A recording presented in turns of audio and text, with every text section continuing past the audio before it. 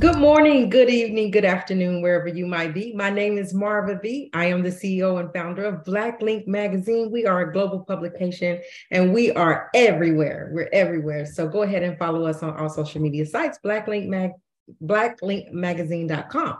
I am so excited, so excited to have the Mr. Ski Johnson. He is a superstar jazz saxophonist, and we are just thrilled to have you. Welcome, Ski, to Blacklink Magazine. Um, go ahead and tell the world who you are and what you actually do. It's an honor to be here, first of all. I'm a jazz saxophonist, um, um, but I've been trying to, you know, break ground with new, you know, taking jazz to the mainstream. I'm on my 10th album. Been in the game a long time, you know, so it's, it's, it's, it's good stuff. Good, good to be here. Well, good to. I always like to hear the stories of how of of your journey, right? How you started and, and everything that you kind of some touch on some of the things that you've gone through. Before we do that, I want to shout out um, Mr. John Blassingame, who has now become my publicist, who is now um, my mentor, my everything. So shout out to John Blassingame for this connection as well. So yeah. let's go ahead and get started. I want to talk about. I want to talk about. Let me tell you this first. So I used mm-hmm. to play the violin mm-hmm. and I was pretty good. Well, I was second chair, right? And so right. I, I wasn't so bad, but then it just kind of faded away. wasn't my really what I was wanting to do. Tell me about you getting into playing the saxophone and becoming who you are today. Well, um, I, I started playing the clarinet. I suffer from a disease called alopecia, which causes you to lose your hair at a young age. And um, as a result I was bullied and I went through changes. But so I kind of cling to the clarinet and eventually I um, trans, you know, I, I moved over to a saxophone because it was more commercial. And that's how things started to move for me. So were you actually doing this in school? You started in a class or is it something that at home they were teaching? Well, no, I started at home. I practiced. I went to Duke Ellington School for the Arts, Performing Arts in DC. So performing arts school, a lot of folks went there. You know, Dave Chappelle there, Debbie Allen, who dancer from fame, um, Tony Terry. You know, a lot of a lot of folks in the entertainment industry attended there. You know, Janet Jackson, uh, uh, not Janet Jackson came there, but Stacy Lattisaw went there for a little while. Um, so you know, it, it, it's a well known school and has produced some some some major stars in the industry. Yes, I would say so. Let me ask you about your journey because we just did a story on a young lady locally. Well, she's from here, but she's living abroad now. But she suffered with alopecia as well, and I don't want to get too far into that. But um, and she talked about the bullying just like you did. So your go-to was the saxophone. Tell me your experiences. You know, um, how did you get other than grabbing hold of the clarinet and music? How did you get past that um, in order to just break all the barriers and become who you are? Because to me, you're pretty big. Well, I talk about I talk. I have a movie coming, Jazz for Life, uh, a movie, a documentary, and a reality show, uh, first jazz reality show, and uh, we talk about me struggling with alopecia and and how my self-esteem was very very low. I had really low self-esteem over the uh, years you know when i was and because you know i lost my hair when i was like 12 so that was a you know difficult age to to go through that you know doing the you know going through puberty about to go through puberty. Um and it, you know it was rough. So music helped me, gave me something that, hey, that I can do well. And, and it almost like was like a weapon that I could use to fight back with that I, you know, you know, you know, I may, I may have this issue over here, but guess what? I can play very well. You know, it kind of gave, and, and, and ultimately it, it becoming a, a, a, a great musician helped build up my self-esteem and help me face challenges I had, you know, in life. So that that really helped me. And and you know, I think a lot of I tell a lot of parents and people that I talk to. Sometimes I you know I do lectures and I I, I tell them that music is bigger than just playing an instrument. Mm-hmm. It builds up self esteem. It, it it helps you in so many other areas of your of your life.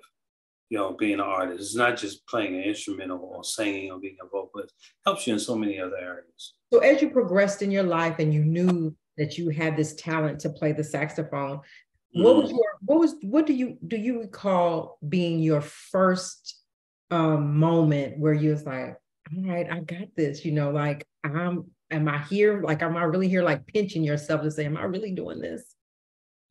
Yeah, yeah. Well, the thing about playing music, when you start, is kind of rough mm-hmm. because you you know you, you hear other players that are playing so well, and you know the motivation is to become a good player but you have to you have to see yourself getting better to continue wanting to play yeah. if that makes sense you, you know it's hard to play if you don't see yourself getting better you know what i mean you don't you don't feel motivated to pick up your instrument or to perform i mean or, or practice if you don't see yourself getting better because then the motivation is not there so you have to you have to stay in it long enough to see yourself getting better. And then once you see yourself getting better, that's when you're like, I can do this. But yeah. you have to get to the point. Yeah. You know I mean? Yeah. So did you ever like when you did have those moments where maybe you thought, mm, I'm not getting better, or did you did you ever have a moment like that where you ever felt like that you wanted to give up and just just not do it? Yeah. Uh, yeah many times. But I think my situation was a little different in that case because I had this low self self esteem issue with alopecia. Um, and you know, it's funny because when I heard Jay, Jada Pinkett talk about that, and I, it, it resonated so what so much with me, and it I I I had to deal with that, and dealing with that kind of made me want. You know, I made me want to get back. I needed I needed something. So so having alopecia, and you were you went to music because you was trying to um, not let alopecia distract you. It, you know, in a sense. Well, yeah, that it distract me and be the focus. It's almost having, you know, it's having a handicap. Some people, you know, may be disabled in, in various ways. That was a, I mean, and to, to some people compared to someone that may be disabled another another way, it, may, it, it doesn't compare. Mm-hmm. You know, if they don't, if they lose a limb or what have you. But in my case, my my disability was being different and not having any hair. Yeah. You know, being the only bald kid at 12 years old. Yeah. That was um that that was you know that was different. And being different at that age, there's a lot to come with that. Yeah. I mean, of course, now I'm comfortable, but I had to get that. And then let's talk about your journey to getting into like your music. If i if i'm right and you can correct me if i'm wrong there was a there your your music is in movies. Is it one particular with um samuel l. Jackson and ll i mean i mean sorry ice cube? Yeah samuel jackson l.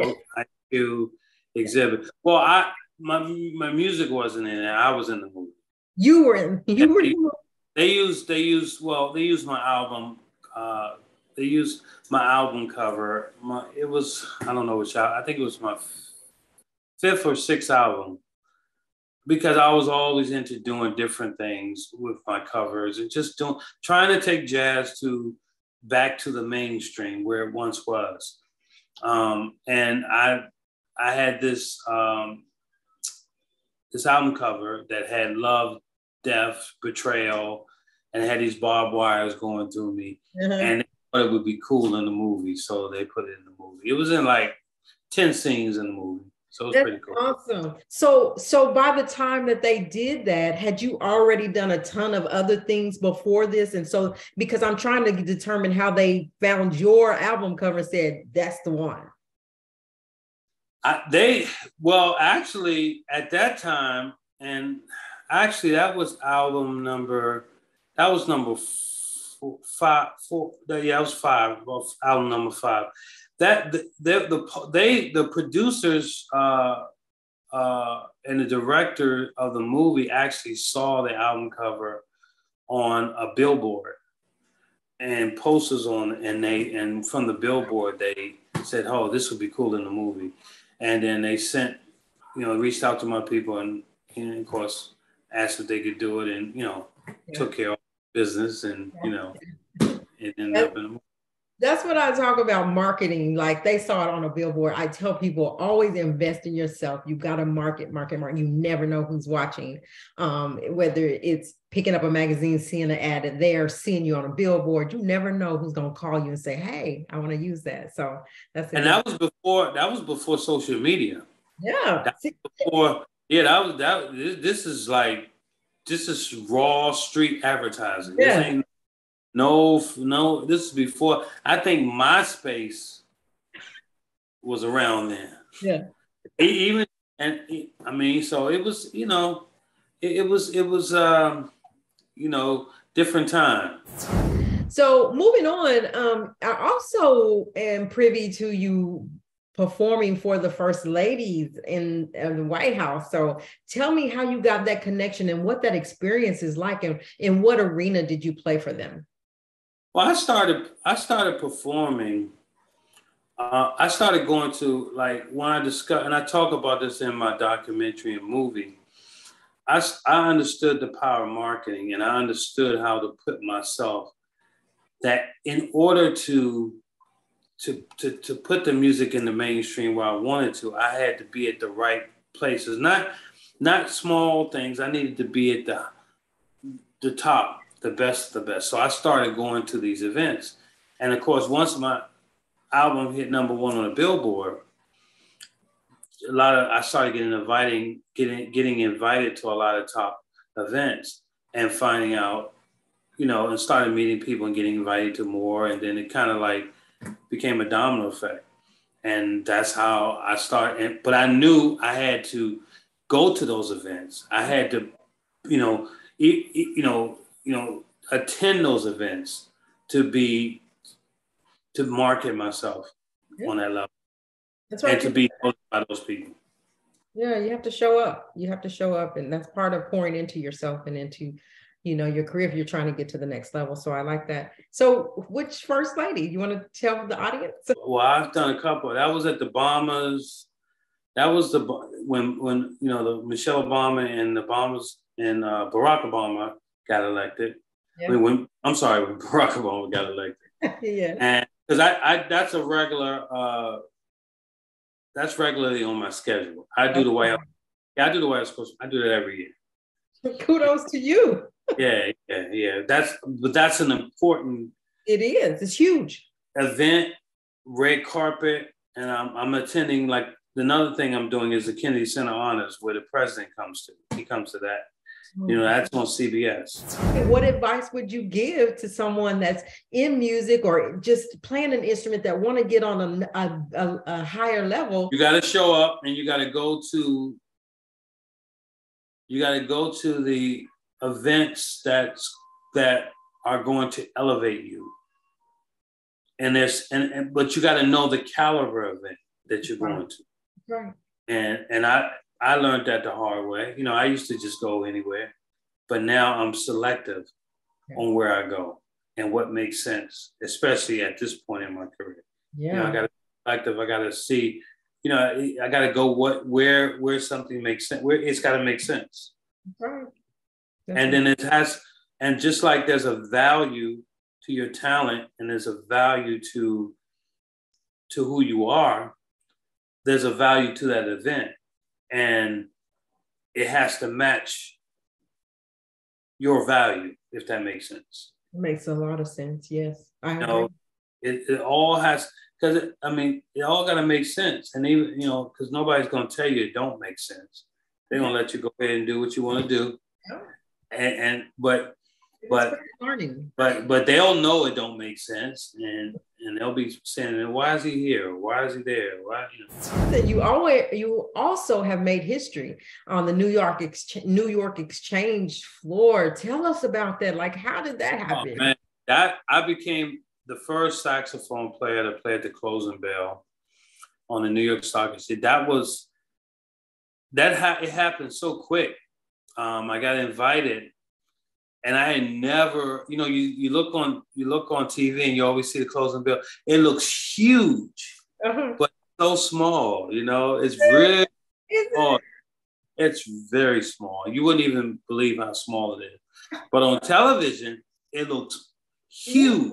Yeah. It looks big, and you know, you have all these big brokers there. I mean, it's amazing. So I played at the closing bell.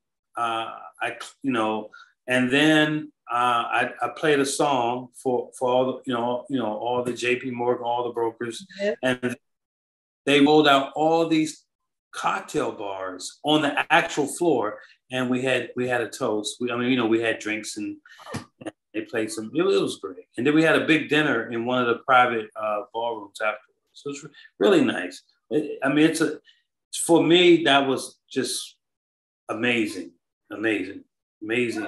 Kudos to you. We all, we lo- I love to see our people thrive and, and and and succeeding in the things that they love to do. Right, not being forced to do something, but really um, doing the things that they love to do. Um, what do you want your legacy to be? Um,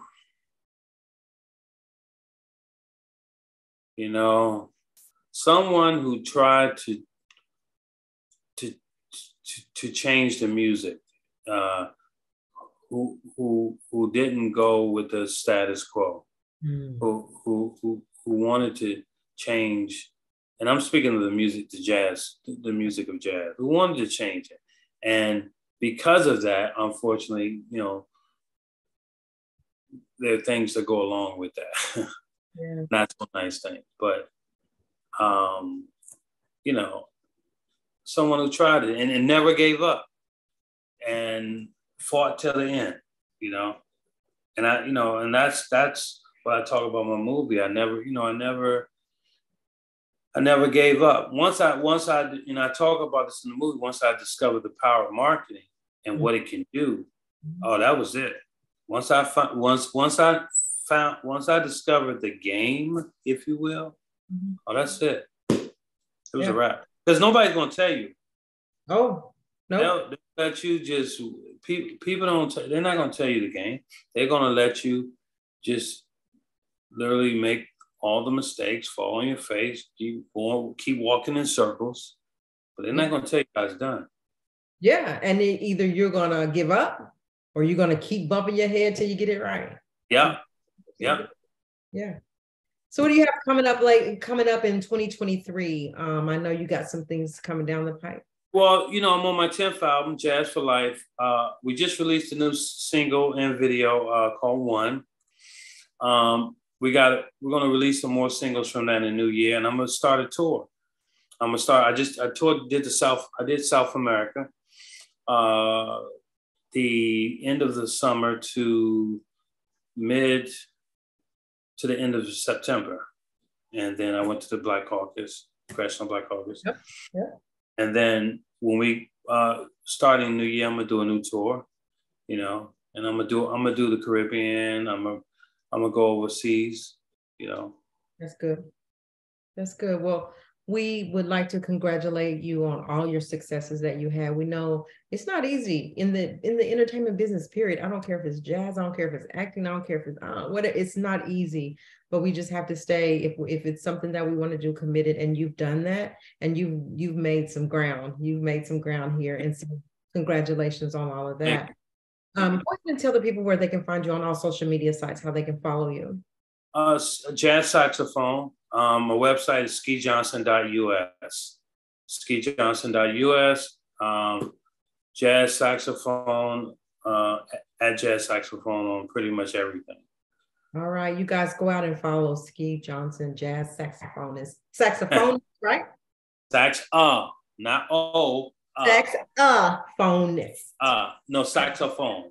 Saxophone, not yep. S A X A uh, P H O N E. You know, they put my name in, it'll come it'll right come up. Yep. If you put if put it's only one of me. It's only it'll one. come up. I did it. I just put your name in it every everywhere and it came up. So again, thank you so much for being here. I'm so honored. I enjoyed your time. Um, and we'll be getting back together in the 2023 year in the new year, trying to work some other things out. Um, in the meantime, you guys, we're going to get out of here for now. Remember, respect yourself, respect each other. God bless. God bless.